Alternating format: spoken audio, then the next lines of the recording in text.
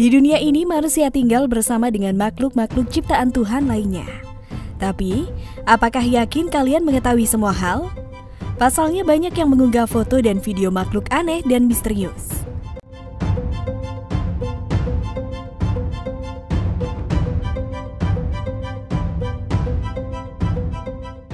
Nah, beberapa waktu lalu media sosial sempat dihebohkan oleh penampakan makhluk aneh berbulu misterius yang ada di sungai.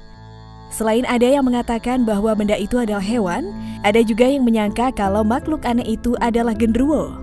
Lantas, benarkah makhluk yang berbulu dan mempunyai dua kaki itu adalah salah satu jenis makhluk halus genderuwo? Hmm, berdasarkan video yang beredar, makhluk tersebut tampak beranjak dari sebuah sungai. Sekilas, makhluk aneh itu mirip dengan manusia yang memiliki dua tangan dan dua kaki. Makhluk aneh berbulu itu tampak sedang muncul ke tepi sungai dan menuju daratan. Dari cara bergeraknya, ia seperti sedang merangkak menggunakan tangan dan kakinya. Ukuran makhluk tersebut juga seakan cukup besar dari beberapa hewan sejenisnya. Melihat penampakan aneh tersebut, beberapa warganet pun menduga-duga apa sebenarnya makhluk tersebut. Namun faktanya makhluk tersebut adalah hewan sejenis kukang.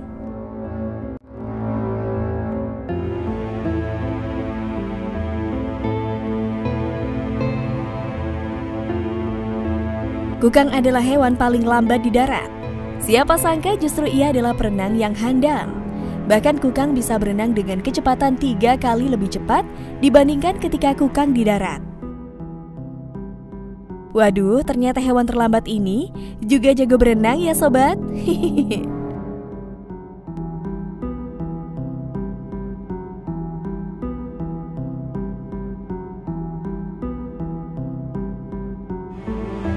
sob tak hanya itu, beberapa waktu yang lalu masyarakat Pekanbaru digegerkan dengan sepasang video dan foto hewan aneh yang beredar di media sosial. Foto tersebut menampilkan hewan dengan dua tangan dan kaki, terdapat juga selaput mengelilingi tubuh seperti sayap mirip dengan kelawar. Sementara video yang dipasangkan dengan foto tersebut menampilkan hewan berbentuk serupa sedang berenang.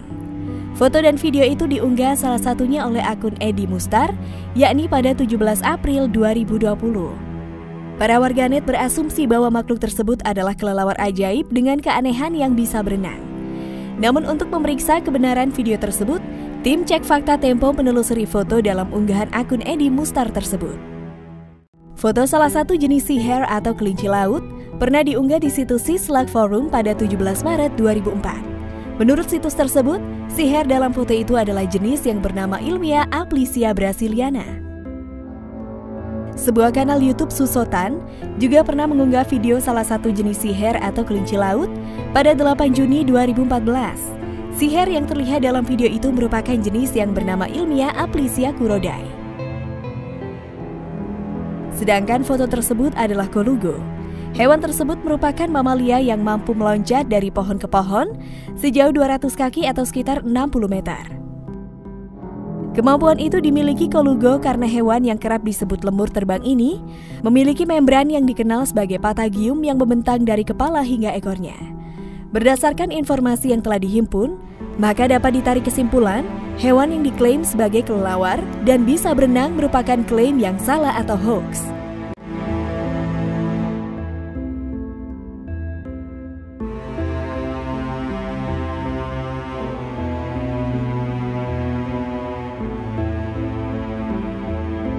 Nah, kalau menurut kalian gimana nih sob?